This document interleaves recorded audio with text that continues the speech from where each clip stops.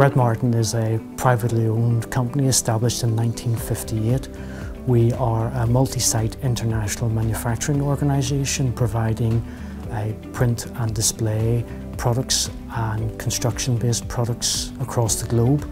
We employ over 900 people across Europe and we export over 60% of our total output outside of the UK to over 70 countries worldwide. The solar park will provide us with about 14% of our total site energy requirements at a lower cost than we can buy the same power from the grid.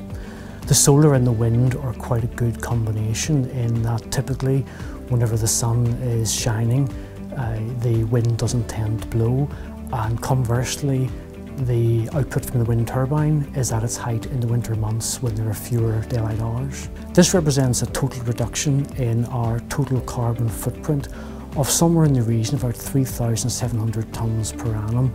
That's the equivalent of offsetting 27 million long haul flying hours every year, or the equivalent of taking 1,800 cars off the road. Lightsource BP is the largest solar developer and operator of industrial scale PV in Europe. We operate just over 2 gigawatts um, of solar plants um, across nearly 300 different sites in the UK alone. One of the important things whenever you are you know, building solar parks is it's essential that you have somewhere for the electricity to obviously flow. We had identified a site in this area and therefore it was natural for us to look around at large businesses um, Obviously, it's very obvious whenever you see the, uh, the large wind turbine. You know, it's a good clue that this is a company that takes renewable energy very seriously.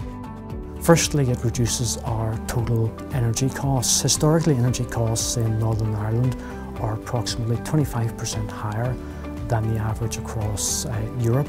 Apart from the financial benefits, uh, it also provides certainty for us. It provides us with a guaranteed supply at a known cost for a period of 30 years and should also insulate us to a significant extent from energy market fluctuations and of course then it also reduces our carbon footprint. Solar energy worldwide is going through you know just unprecedented growth and it's all fueled by the likes of Brett Martin and other companies, you know, embracing the technology and saying, I want to generate my electricity in a different way that is clean, that is green and is ultimately sustainable long into the future.